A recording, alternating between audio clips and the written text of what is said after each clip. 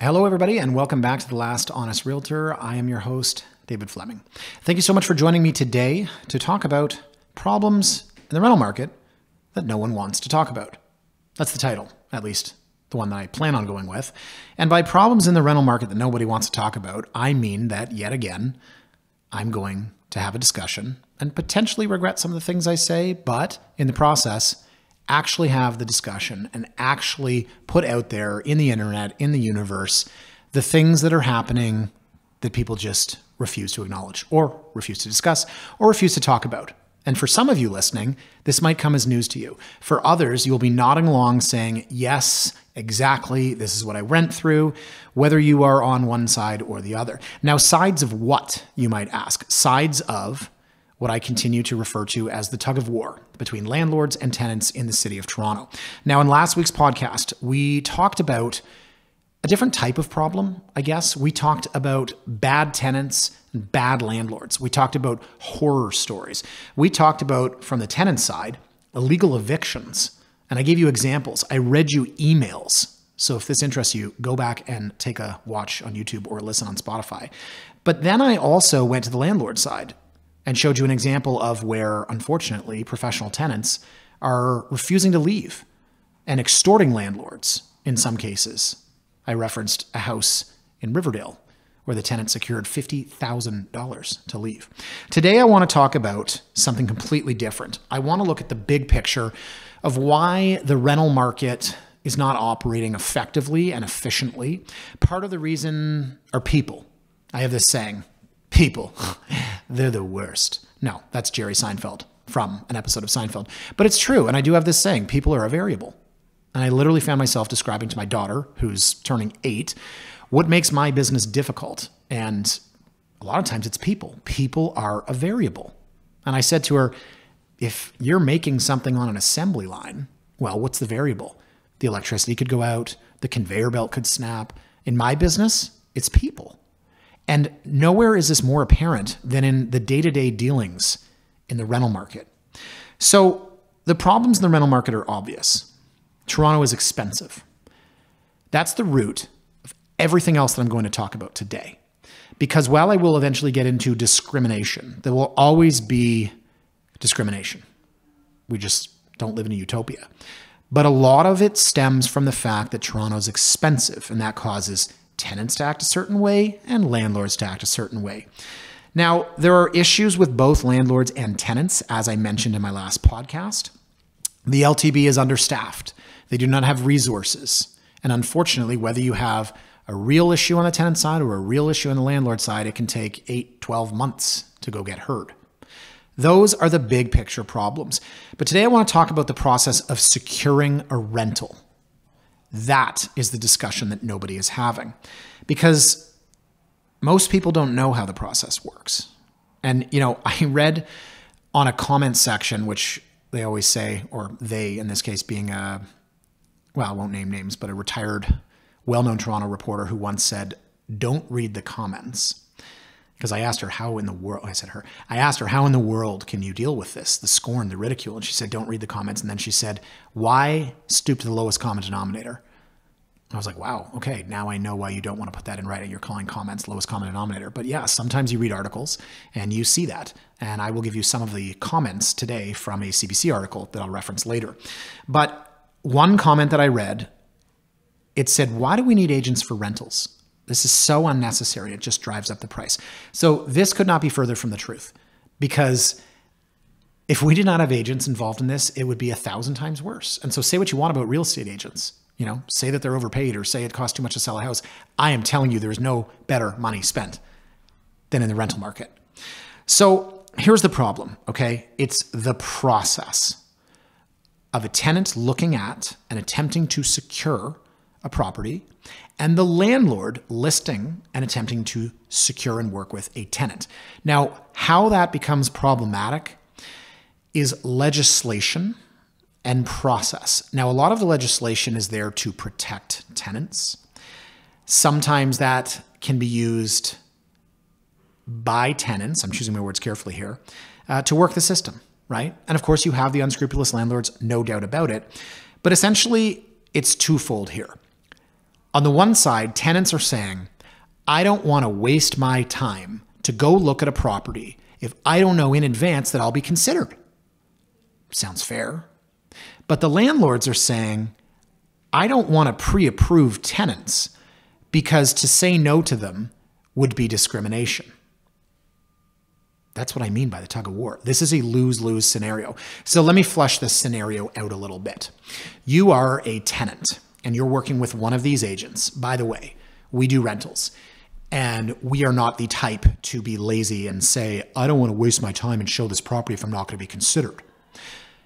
But you're a tenant and you go to see a property. You book a showing, you go with your agent, you decide that you're interested.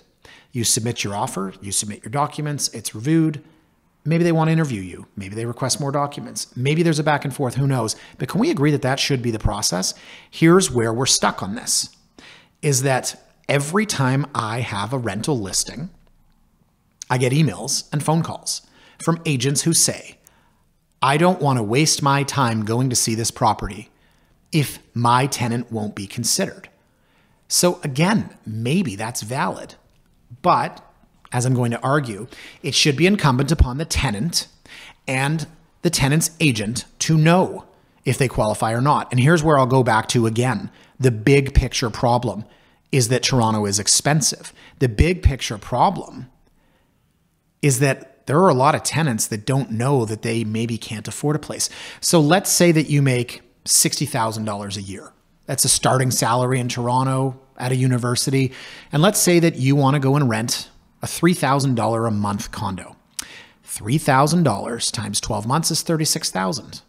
36,000 as a ratio. I said ratio. We'll come back to this because hint and spoiler, it's illegal. As a ratio, $36,000 out of 60,000 is should I get my calculator out here? I'm going to say that's 55% roughly as I'm doing this live on air, kind of embarrassing myself, but it is 60%. Even better. At 60%, you can't afford this, but it doesn't stop agents from showing the unit and it doesn't stop tenants from thinking that they can afford it. So again, I'll say you can't afford it. I just discriminated.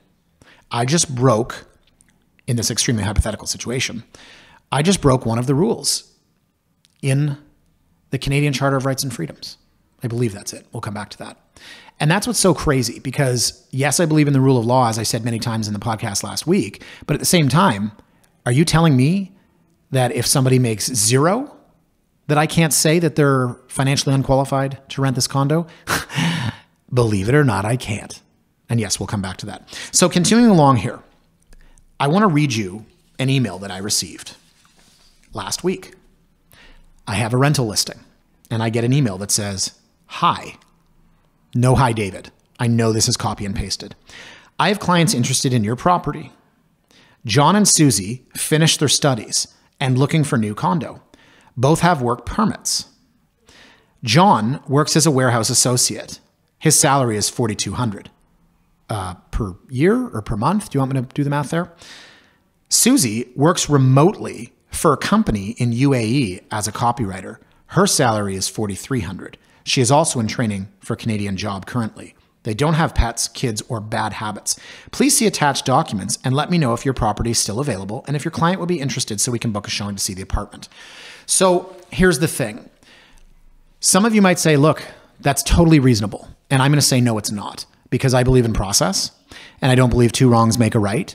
And ultimately, when I receive an email like this, sometimes I just delete it. And that's really going to anger a lot of people.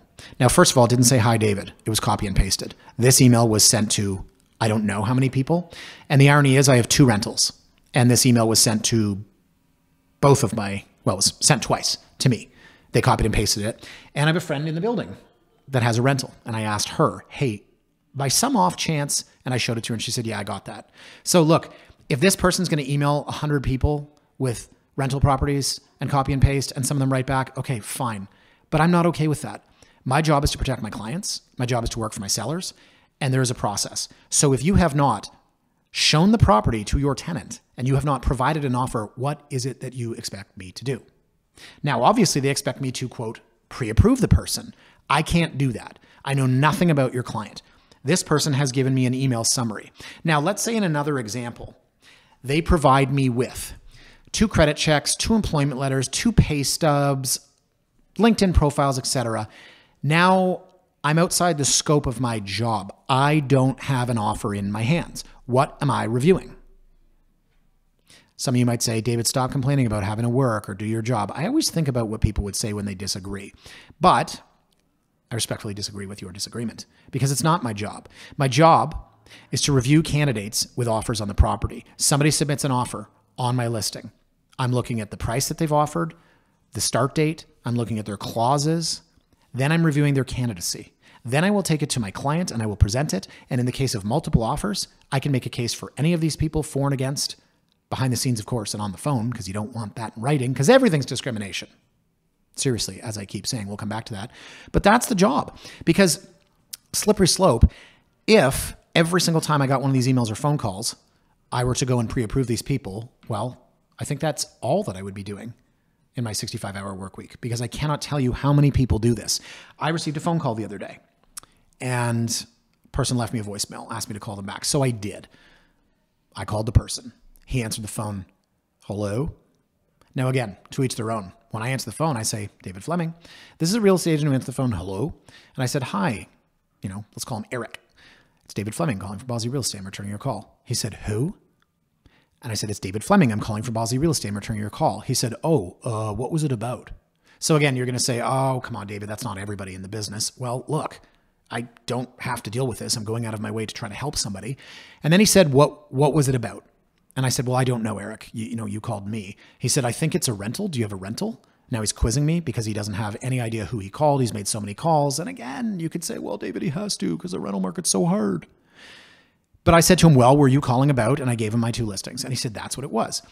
And then he just started verbal diarrhea.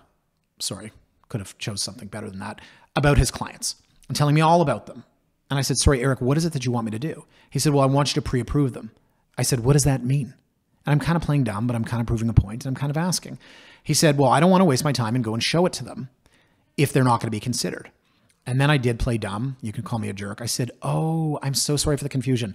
I don't own the condo. I'm the listing agent. He said, No, I know.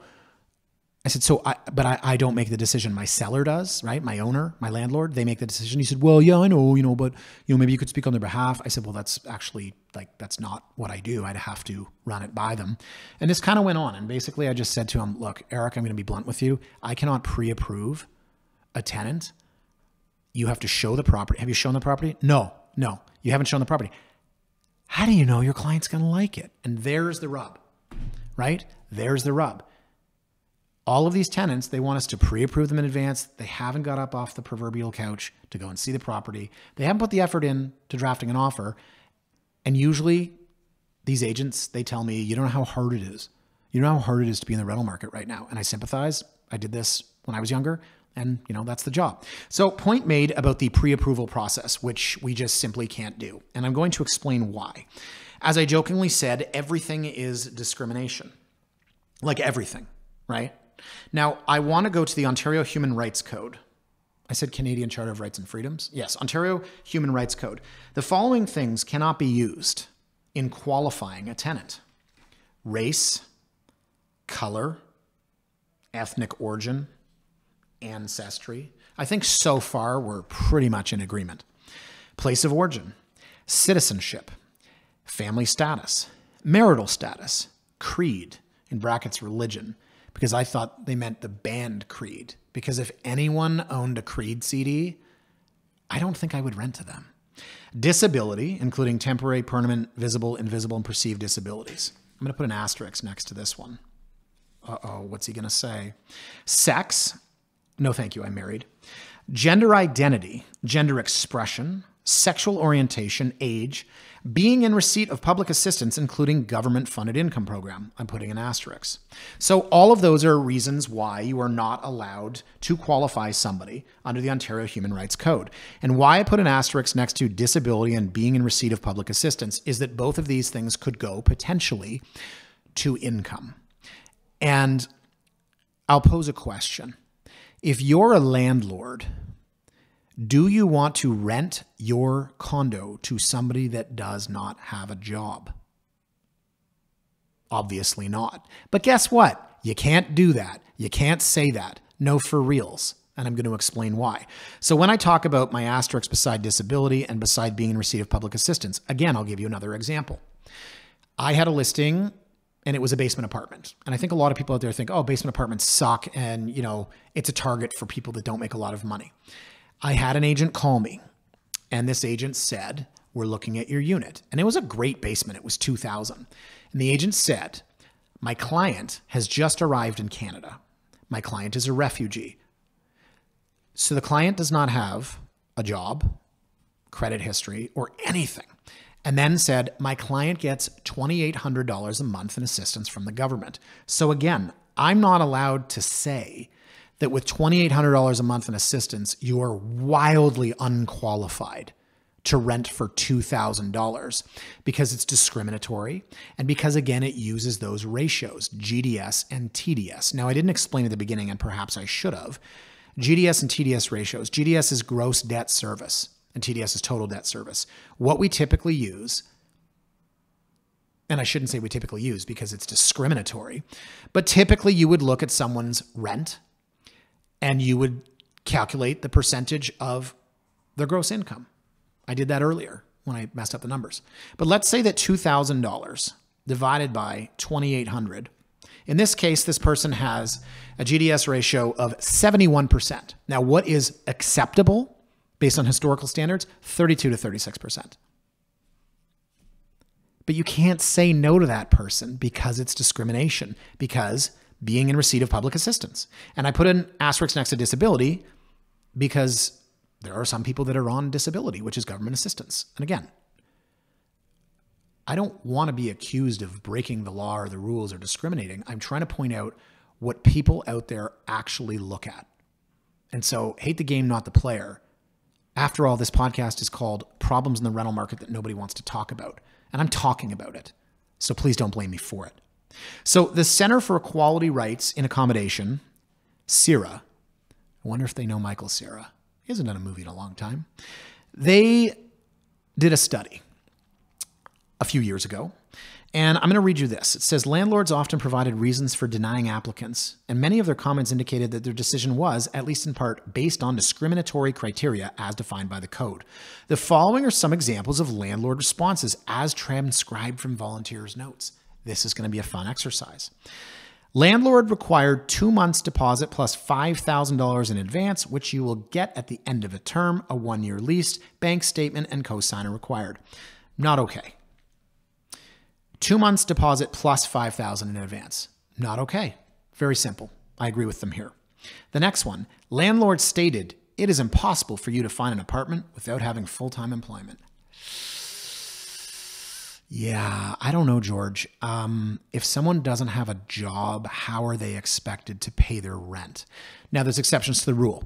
Uh, Billy has a trust fund. His dad uh, owns a company that makes Ferris wheels, and he is a multi jillionaire. Sure, Billy doesn't have a job; he has a trust fund. There's always exceptions, but in the most in most of these cases, and again, you go back to part time employment, or and I can tell you that as a real estate agent who doesn't have a salary, the rules for mortgage qualification are completely different. If you have somebody that works in the bartending industry and they make an insane amount of money, but it's all cash, well, hey, if you're not declaring that income to CRA, how are we supposed to know that you make it? There's always exceptions to the rule. But for a landlord to say it's impossible for you to find an apartment without having full time employment, we don't know the context of this. But I'm going to go on record and say that despite the Ontario Human Rights Code, I don't think it's unreasonable that a landlord would like to rent to somebody that makes an income. The next one says the landlord requested Canadian credit and landlord references because, quote, there are people waiting with all these documents available, end quote. The landlord also required pay stubs and bank statements. Landlord required applicant to have a guarantor with a minimum income of $50,000. Otherwise, quote, you will not get the apartment, end quote. Now, first of all, these landlords are stupid for saying this and for putting it in writing. And we're going to talk about that later. I think I alluded to at the beginning that everyone's afraid of, you know, discrimination in the rental market. But this is not okay for many reasons.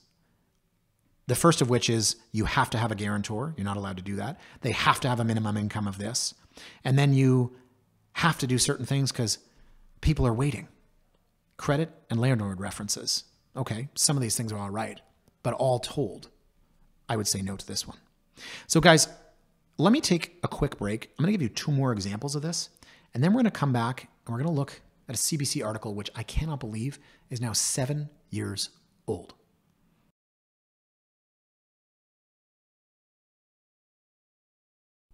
Welcome back. I want to give you two more examples. We just left off, I gave you three examples of quotes from the Center of Equality Rights and Accommodation, CERA.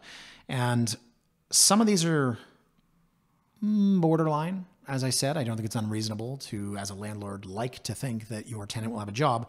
The next one reads Landlord required the applicant to have been at their current job for at least one year and asked to see current pay stubs. Uh, no, no, that's not okay. You can't force someone or say that you're going to discriminate against somebody for not being at their job for one year. I think if you're pre-approving, uh, if you're getting pre-approved for a mortgage, the lender wants to see that you are through the probationary period, the first three months at your job.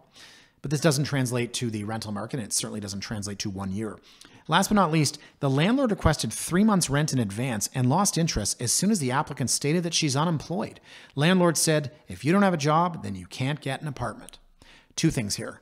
Number one, you are not allowed to say you want three months' rent in advance, first and last. But the landlord lost interest as soon as the applicant stated that she's unemployed. Guys, I'm not going to do the old, this isn't me, this is hypothetical thing. I don't think it's unreasonable to say that you'd like your tenant to be employed. But apparently that's illegal. Can you see how we're having problems in the rental market? So I mentioned an article in the CBC. Now, this was, I can't believe it, from 2017. And this stands out to me because I remember number one, how stupid this agent was to put all this in writing. And one of my favorite things to do is look at some of the discipline hearings uh, through RECO to see what agents have done, you know. And my favorite was one this this guy just sounded off over an email screaming uh, to a prospect about commission and just all this nasty stuff but his email signature was one of those you know i'm always here to take care of your family and friends and demonstrate professionalism at all times and it was like you put that underneath one of the most nasty things i've ever written don't put it in writing right one of my uncles said to me don't ever put something in an email that you're not okay with seeing on the front cover of the globe and mail so I'm going to read part of or all of this. This is from January 30th, 2017. It's from the CBC. It's called Couple in Their Early 20s Denied Toronto Condo Rental Due to Their Age. I'm going to put an asterisk next to that. Was it due to their age? The landlord wasn't interested in potential problems that may arise from young tenants. Okay, that's discrimination, and that's stupid for you to put it in writing. Here's the article. It's tough enough finding a decent place to rent in Toronto's red hot housing market, but it's even harder proving for two millennials or sorry, it's proving even harder for two millennials who say they've been denied a condo rental because of their age. Ryan Young, 23, and Nina Tassan, 22, are trying to move out of their respective parents' homes and start out on their own. Now they filed a complaint with the Ontario Human Rights Tribunal.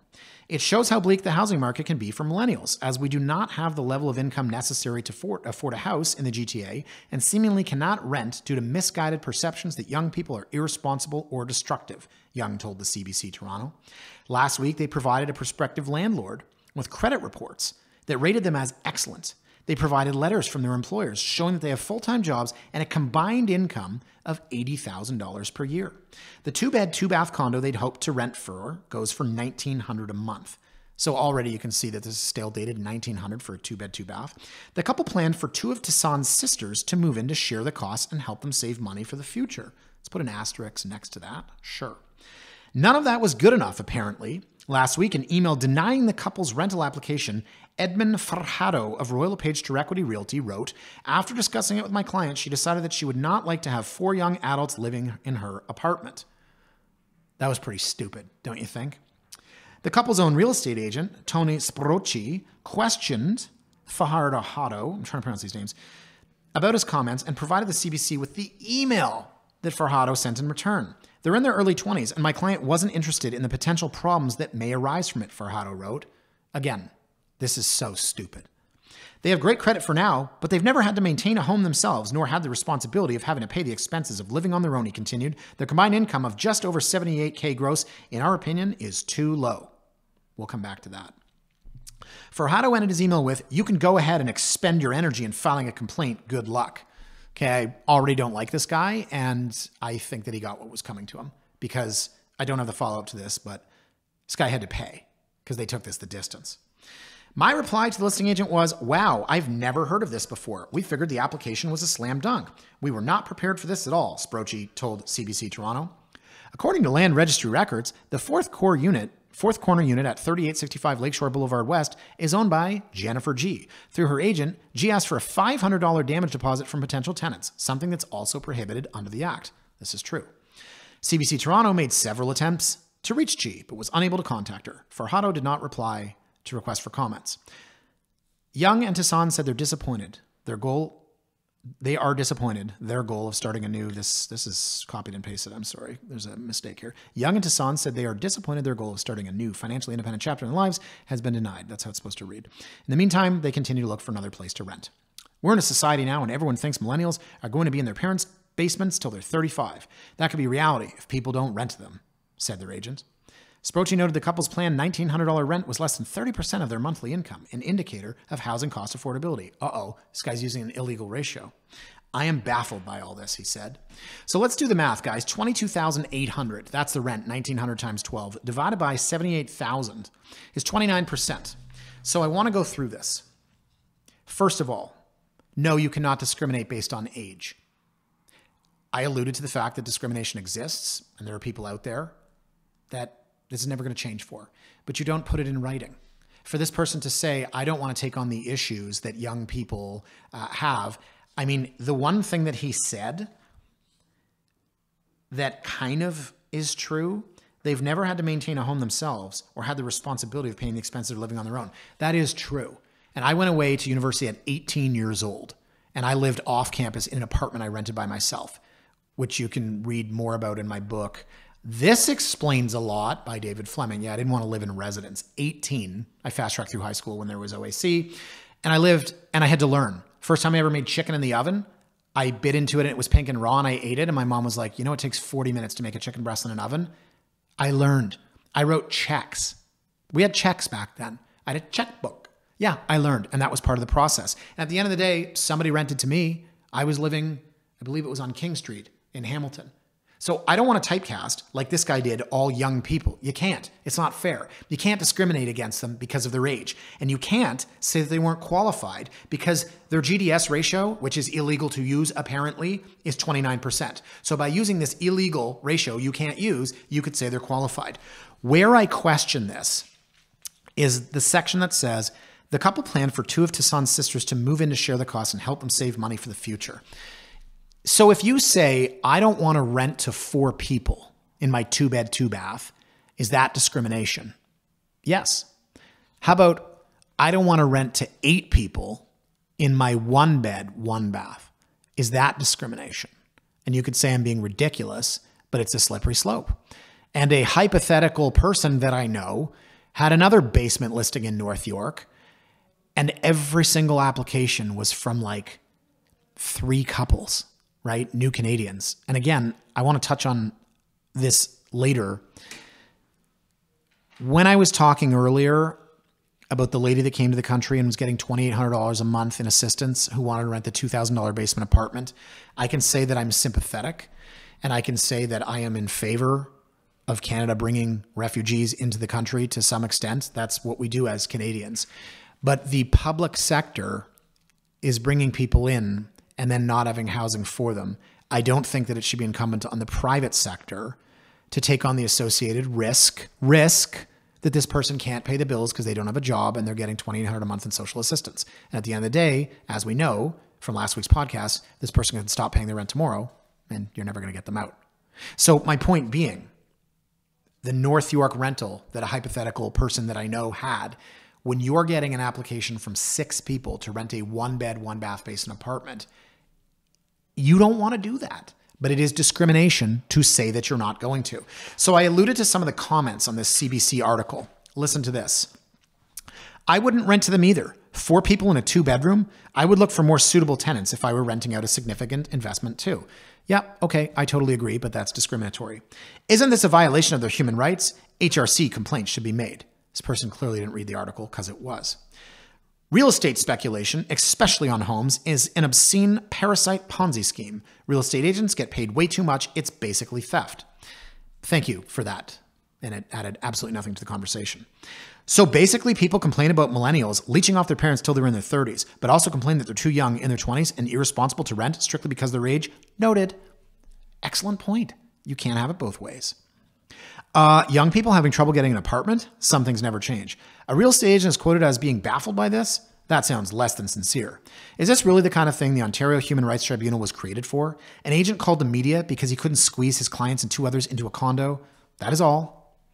Yeah, again, maybe I don't disagree. The slippery slope is maybe four people in a two bed, two bath was okay, but not six or eight or 10 or 12. The rent actually accounts for approximately 60% of their annual income. Don't know where they're getting that math from. If you take into account the taxes that will come out of the account stated plus utilities, just reading verbatim, food and transportation costs to and from said jobs, the price tag is out of their reach. So although it sucks they were denied renting this condo, they couldn't afford it anyway. Welcome to the real world, kids. The landowner is not your parent. They don't have to babysit you or deal with you if they don't want to. Grow up. Um, yeah, I mean, they're not right? So agree to disagree. I'm a landlord in Toronto. I rent to millennials all the time, just not four of them at the same time. Sorry, that's discrimination. Makes sense, but you get where I'm coming from. The name on the lease may not be who's actually in my unit. I'm handing over keys to a half million dollar piece of property. Of course, I have a look closely at the circumstances of tenancy. And as I said last week, no one cares that it's your half million dollar piece of property because a large segment of society has decided that you, having worked hard and saved and scrimped and invested and taken on risk, you're bad because investors are bad, because landlords are evil. I'm being facetious and honest. Two more. Yep, we've trained the millennials right. Anytime someone makes a business decision you don't like, that's why you run to the Human Rights Tribunal. Uh, totally agree, not in this context, but this was seven years ago. How much worse has it gotten? And the last one this happened to me all the time when I was a young person. I didn't realize it was newsworthy. Yeah, I get it. It sounds like, and I'm going to share this, it sounds like my mother telling me what it was like to be 20 years old in an office in the 1960s and the things that went on and completely justifies it. Ah, that's just how it was back then. 20 year old female, I should have specified. So what did we learn from that? Well, we learned that discrimination is a bit of a moving target. And this idea about income and affordability, it really baffles me because while you shouldn't discriminate against somebody because of your age, and while you shouldn't discriminate against four people for renting a one bed, one bath, apparently, I'm really stuck on this idea of income not being used for qualification. So I've printed this off from the Ontario Human Rights Code. I'm going to read this to you. Many landlords apply a standard guideline that a tenant applicant should be spending no more than 25 to 35% of his or her income on rent. Those who fall short of this ratio are rejected. While this is rationalized as a necessary means of assessing an applicant's ability to pay the rent, its use results in the denial of access to rental units to members of disadvantaged groups protected by the code who frequently have lower incomes. So you can't discriminate against disadvantaged groups. Does that mean low income? Does that mean on disability? Does that mean newcomers on assistance? It could. But I can't let this idea go that an unemployed person should not be discriminated against for not having income to pay the rent for a property in the private sector. I don't know, guys. I can't make sense of that. Now, this further goes on to use a case, Kearney versus Bramalea. I looked it up, it was in 1998. The use of rent to income ratios and minimum income requirements was considered in Kearney versus Bramalea. The Board of Inquiry ruled that rent to income ratios and minimum income criteria breach the code, whether used in conjunction or with other criteria or requirements. The board found that the evidence showed that these practices had a, a disparate impact on groups protected under the code, and that, ready, these policies were not bona fide as they had no value in predicting whether a tenant would default. Do you think it's more likely that someone that doesn't have a job and has no income defaults than somebody that does have a job and income? Rhetorical. But in the podcast we did last time, I noted that anyone can move into any house or condo and stop paying their rent tomorrow. And it's going to take you six to 12 months to get them out, and you're not going to get that money back. You're going to spend time and effort and energy chasing them through the system, et cetera, et cetera. So we're kind of at a crossroad here, guys, because as I've noted at this point, there's legislation to quote protect people that, in my honest opinion, may or may not be qualified financially to rent in Toronto and it stems from the issue that we all know that unfortunately Toronto's expensive and landlords and tenants are at war. I have a few other issues I want to go through, but let me take a quick break and we'll come right back with that.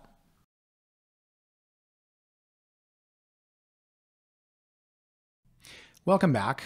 And I mentioned at the break that I want to talk about a few other issues. I think I made a lot of the intersection of protections for tenants through the Ontario Human Rights Code and well, to be perfectly blunt, what's reasonable, right? What passes the smell test? There's a few other issues that I wanted to mention. And the first of them is this idea that co-tenants, roommates, people pretending to be couples, is is this okay? Now again, every example is different. But let's say that you get an application from two people and it says that in their email, they're a young couple, and then you get their bio, and let's say that as many of us do, you look at their LinkedIn profile, you see their social media, and let's say that they're not a couple, they're just two friends and they're trying to save money by bunking up. In this example, you might say, well, who cares? A landlord might say, I've got a bachelor condo and there are two people who are not a couple. So are they going to put a bed in the kitchen? And again, I'm asking the question, this is not rhetorical, is this okay? Is it okay for a landlord to say, I don't want two different people putting bunk beds in my condo. And it's a slippery slope because I'm going to say, well, what about three people? What about four? What about five? Do two wrongs make a right? Because we see this a lot. We see people that are trying to be roommates essentially. And I'm not talking about, you know, two girls that say, yeah, we're roommates. And, you know, I leased out a property not too long ago and it was two roommates. They lived together in London. They lived together in New York. They were living together in Toronto. They got evicted from that place because the seller was selling the place. And then they made an offer on ours. And it was like, great. You guys have a great track record. You've lived together before. You have great income, great credit. We'd be happy to have you. I'm not talking about that in a two bed, two bath. I'm talking about a bachelor condo where you have two people feigning to be a couple. Is that okay? Because this happens a lot. There are these co tenants, and some of them unfortunately show up after the fact. So that's another issue that I want to explore. If you rent to Bob Smith, and Bob Smith signs the documents, and then after the fact, you find out that Jenny Jones lives there too. Is that okay? Again, it all depends. Maybe that's Bob Smith's girlfriend. Jenny Jones moved in, no problem. But what if Bob Smith put two bunk beds in the kitchen and now is renting to two other people. So we have clauses in our standard agreement of purchase and sale. We have clauses in our standard offer to lease. And one of those clauses says the tenant agrees and acknowledges that only the person named in this agreement shall live full time in the property. There's nothing to stop this tenant. There's nothing to enforce this. If this tenant takes possession and then decides to put bunk beds in the kitchen and rent to other people, nothing you can do. You have to take them to the landlord and tenant board, and then, hmm, I don't know. Based on last week's podcast, I have no idea if that tenant board would actually back you if you said, I don't want six people living in my one bedroom. Now, I mentioned income. This is another problem. I mentioned part time, I mentioned bartending, freelance. This is another situation we come across a lot. And when I, in the end, summarize and tell you what you need to do to position yourself as a tenant, you can see how you can work around this. But is it discrimination to say this person makes 80 grand a year on salary working for KPMG? This person makes 80 grand a year working as a bartender pulling in tips. That's not guaranteed income. That's not steady. I don't want to rent to them. Yeah, it is discrimination. And you can say what you want about it, agree or disagree. And I always say, well, what's reasonable? Everything we're talking about today is like the definition of slippery slope, gray area, etc. Now, guarantors. What's the point of a guarantor? This is kind of funny. I mean, it's not funny, but let's say that Timmy, Timmy's young, Timmy's 22, Timmy wants to rent a place. Don't worry. His dad's going to co sign. His dad makes a million dollars a year. Oh, great. Guess what? It's worthless. I'm sorry to tell you that. And if you're a landlord and you're like, shoot, my tenant has a guarantor.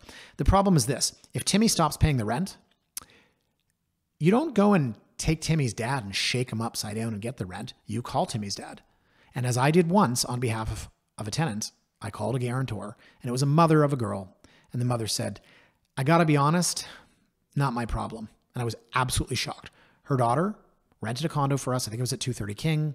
And it wasn't that she stopped paying, it's just that she was behind. And first it was like, oh, I'm sorry, I'm late. And my client was like, oh, okay, I got it a week later. The next month it was two and a half weeks late, and she got a month behind. And my client said, I've never done this before. Can you call the guarantor? I called the guarantor, who was the mother who signed on the lease, and she said, Not my problem. And then she went on and she said, Listen, my daughter, if she's going to make on her own in this world, she's going to have to stand on her own two feet. There's nothing you can do about it. So, what is the point of a guarantor? What is the point of a cosigner? If you're buying a property, a cosigner has value because that person is attached to the mortgage, attached to the property. And for the lender, well, they can go after that person or you can use their income to qualify. But there's a different outcome there. When you're a landlord and you're trying to go after, quote unquote, go after the guarantor, it's the exact same process. So if Timmy stops paying rent, you have to go after Timmy's dad. What's the difference between going after Timmy and Timmy's dad? It's the same darn thing. So unfortunately, in the Toronto rental market, I'm going to say this cat out of the bag, the conversations that nobody wants to have. Guarantors are supposed to make us feel safe, and they're absolutely positively worthless. Now, what about students? What about students who come here? And students have no income and no credit and no job. Obviously, if they're a student, they have no job and no income. But again, it begs the question if a student shows up here and they want to rent a condo for 2,000 a month, they say, here's my $4,000 deposit. There's absolutely no guarantee that that person pays the rent. They don't have a job. So you could argue on the one hand, hey, David, remember when you told me that you shouldn't be able to say no to somebody because they don't have a job? And you argued that, hey, as a landlord, why do I want to rent to somebody without a job and income? Well, now you're saying that with a student, who has no income and has no job, what? It's supposed to be different? Okay, look, how it actually works in practice, you are not allowed to ask for more than two months of a deposit. But when students make offers, and I'll be blunt and say that they often come from very wealthy families and wealthy countries, they'll offer 12 months rent up front. And I have a lot of clients that say, I don't want to rent to students. They're young, they're irresponsible, they're messy, just like that stupid agent in the CBC article. I'm sorry I said stupid. He's not stupid, it was the comments he made. But it's the same argument, right? And I have clients that love renting to students because they leave every year. They pay a year up front and then they leave. They go, they move somewhere else. So, students, I don't know. Will they pay a year up front? Will they have a guarantor? No, I'm just kidding. We did actually get an application not too long ago, three guarantors located all over the world. I'm like, okay, Bob Jones, who lives in Paraguay, yeah, I'm going to track Bob down when your son can't pay the rent. But that brings up another point is that what happens when three people want to rent a three bedroom together? And then it's 3300 and then they all want to pay 1100 a month. They're all on title. But what happens if one leaves? Legally, all three of them are liable. In practice what happens is the two people that are there, they say, "We have nothing to do with this. Each of us transfers you 1100 a month, and our friend Bobby left. You go deal with Bobby." Legally speaking, the landlord says, "No, you have to make up the difference. But again, anyone can move into any property anytime, stop paying rent, and it'll take you six to 12 months to get them out if you can. So in this case, if you want to rent to three individuals in a three bedroom house, you have to consider, well, what happens if one of them leaves? It's the same argument. Sorry to bring this up. You want to talk about discrimination? How about this level of discrimination? Well, I wouldn't rent to a young couple who's living together for the first time. She lives with her dad in Vaughan right now, and he lives with his mother and father in Oakville. They met at university, and now they want to rent my downtown Toronto condo. Well, I'm not going to take a risk on their relationship. Eh, discrimination. Now, is it a valid point? I mean, people do break up, don't they? What happens if you rent to that young couple? They move in, and um, I don't know. He always leaves the toilet seat up, so she gets really mad. That's such a cliche. But I don't know. Maybe they just don't hit it off. They have different taste in movies. And then they break up and one of them moves out, or they both move out in the middle of the night. Again, my fallback here for everything is anyone can stop paying rent in any property at any time and they'll get away with it. So it's kind of like all of these points and all these issues are almost moot. That's a pretty negative way of looking at it. But again, point being, you cannot discriminate against a young couple who's living together for the first time, but it happens all the time and off the record. And I have had a client before that have said, these people are living, moving out with their parents, moving out from their parents and moving in together. I don't know. What if they break up? It happens. Now, the last point here is newcomers. What do you do with newcomers? Whether they're here on a PR, whether they're a refugee, they don't have credit history. They may not have a job. They may not have income. They may not have anything. They may be on disability. They may be on social assistance. This is where it's so tricky, and no one's going to put this, you know, in writing or in a podcast. I don't know what the answer is because I've said this before. It's not fair, and I'll use that word by my definition. It's not fair to force the public sector, sorry, it's not fair to force the private sector to do the public sector's job. So, as I mentioned, I'm all in favor. You know, some of the guys that I met, my best friends in grade 10 in 1995, they were all refugees that came from Bosnia and Serbia during that big war. They are my best buddies all the way through high school, my early adulthood. I'm obviously proud to be Canadian because we do help other people. But that's the public sector and not the private sector. So if you own a condo and someone says, I just got here, I have no job, no history of credit, no history of payment, no references, no anything, and I'm wildly unqualified to rent your $2,000 a month place because I get 2300 a month in government assistance, it's discriminatory to say no to that person. But this is happening.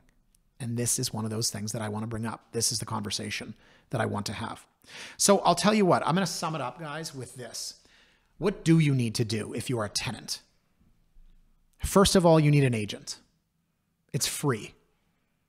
And some people will say, well, it's not free because just as the seller pays the buyer agent commission, in this case, the landlord pays the buyer agent or tenant agent commission. Look, say what you want, it's free. You, as a tenant, can use an agent for free. It doesn't cost you anything. Why in the world you would not want to do that in this market, I don't know. You need a rental application the Ontario Real Estate Association rental application. You go, you download it, you fill it out. Ironically, there's a section on there that asks for your banking info. Don't write that. That's insane. Why don't they update that form? You need an employment letter. Your employment letter needs to be on something with a logo. Sorry, I lost my train of thought because I was thinking about the one time we found a fraud. Someone just right clicked save as on the CIBC logo and then put it into Microsoft Word we deduce that one pretty quickly. We haven't even talked about fraud yet. But you need an employment letter that is on company letterhead. It has to say your salary, your bonus, your tenure, your title, and it has to have contact info. Because when I get a letter and I look and it's like from Barb Smith in HR, I got to go digging for Barb. Okay. Give me the contact info because I am going to speak to Barb. Trust me. You need a credit check. I would suggest it's Equifax because why would you take any chances with submitting documents that now the listing agent or the landlord says, hmm, I don't know, what's this? This is half of a credit check. There are two types of credit checks. I put a note here full version, don't be cheap. I believe, and I haven't done this in a long time, there's the one that just gives you a score. What's your FICO score? Your beacon score? You know, 800 plus, great. But then there's the full version that shows your entire credit history. Spend the extra 10 bucks and get that one. You need a driver's license or passport. And again, legally speaking, a landlord and an agent can't ask for that. You're a tenant, go ahead and do it. I don't think I'm being inappropriate here by saying, why not put your best foot forward? Why not show them, hey, this is who I am? By the same token, send them your LinkedIn profile. When I'm looking for fraud, one of the first things I do is, is this person on LinkedIn? Now, there are fake LinkedIn accounts. My friend Amy and I have gone back and forth with our notes. She's a crazy person, but she, when she gets a bone, Jonathan's laughing right now. I said it, you're crazy. She, with a dog with a bone, will go to town, finds a fraud in the rental market, and then just starts investigating. And I'm like, comes up for air. I'm picturing three days, no sleep, cans of Red Bull, and has literally broke apart a massive crime ring, which unfortunately the police and organized real estate do nothing about. But yeah, that actually happened with fake LinkedIn profiles and a fake website set up. But the fake website, all of the links just went back to the homepage. We sleuth. when we get offers for our clients who are trusting us to put a tenant in there that's actually who they say they are. So again, LinkedIn profile. Just put a link to it. You don't have to. I don't know if it's illegal to ask for it. But by the same token, if you're concerned about income, send them your bank statements. People are freaking out right now. They're like, what? I don't want to do that. You don't have to. But I remember years ago, oh my God. Okay, this was the chocolate lofts back when it was big. I'm going to say this is like 2007. And I showed it to this young lady. She was a dental hygienist. And the agent said, I have nine offers to rent. Do not bring me an offer. And she was like, Well, I want this place. So she put together an offer, six months of rent up front, offered over list. And then she showed me a folder, right? I won't say this is before PDFs, but she showed me a folder kind of sheepishly and she opened it and it showed that she had like $2.4 million, right? And she was like, I don't know, 23, 24 years old. So yeah, she makes a good salary as a dental hygienist, but clearly she's got family money. And I sent that, you know, over when I sent a letter and everything else. And guess what? We got the place. We beat nine other tenants. So yeah, listen, I know a lot of you and the people listening or the people that are saying, David, you just talked about newcomers, refugees, students who don't have this. I'm just giving you ideas on how to strengthen yourself and your application. If you have a bank statement or investments that show that maybe you have access to finances or means that don't necessarily come across. For example, you make minimum wage at a bar, but you say you make 70 grand a year in tips. Okay. You got $250,000 in your TD Bank checking account. Maybe put that in a PDF and send it over. Now, pay stubs. It's one thing to show an employment letter, it's another thing to show pay stubs. And yes, you can fake an employment letter, you can also fake pay stubs. But my point is this when I make an offer to purchase on behalf of a client, my Schedule A is as clean as possible. The most basic stuff visitation clause. We want our chattels and fixtures to be in working order. We'll pay the balance of purchase price. When I get an offer and I dig through three pages of clauses, most of which are unenforceable or don't apply, just put yourself in a position to be successful, right? It's like saying, I could go in and review the condominium status certificate in advance of the offer night, but I'm not going to. I'll just make a conditional offer. I could get a bank draft in advance to strengthen my offer, but I don't need that. Just as you would when you're buying a house or a condo, put yourself in the best position. Do the same thing in the rental market. Last but not least, write a letter. Because if I got a letter I would read it as a landlord. I want to know who this person is. And again, I'm not talking about when you're buying a place and you write a letter and you're like, Billy and I, we have a dog and it's the cutest thing ever. And here's a picture of us. And we offered, I don't know, $400,000 less than the next highest offer. No. When you're buying a house, it comes down to the money because that seller is leaving and they don't own the property and they don't care who buys it. When someone is renting to you, you are partners and they care who you are. So if you have five offers and everyone's offering $2,400 a month, and maybe everyone makes $100,000 a year, and maybe one of them's got an 820 credit score, maybe everyone's shown a picture of their passport and everyone's sent a LinkedIn profile, write the letter. Because I would read that letter, and I own investment properties, and I rented to the demographic that no one wants to rent to a young single male. You know what? I interviewed this guy and I talked to his references. I was like, this is literally a AAA tenant. It's just a guy you know, he wants to work, go home, crack a beer, watch Leafs game, pay his rent, see his girlfriend on weekends, right? That's the kind of tenant you want.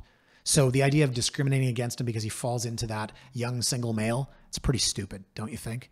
Just like it might be stupid to say all millennials are going to have parties and smash up my place, right? It might be stupid to say I want the two young lawyers that make a ton of money and I don't know, maybe they want to practice uh, their knowledge of landlord tenant act and take out all their inner demons. Anyways, veering off topic here, folks, but the point is there are a lot of issues in the rental market, starting with the fact that obviously it's expensive. And as I alluded to, there's a real tug of war between landlords and tenants. But there's a lot that people don't talk about. The process of securing a rental is hampered by the legislation, much of which makes no sense. A lot of tenants and their agents who just don't want to waste their time, and landlords who live in fear of ever putting anything in writing because they're going to be charged with discrimination. So, guys, thank you so much for listening on Spotify or Apple Music. Thank you so much for watching on YouTube. Please remember to like, comment, or subscribe wherever you get your podcasts. And we'll see you next time here on The Last Honest Realtor.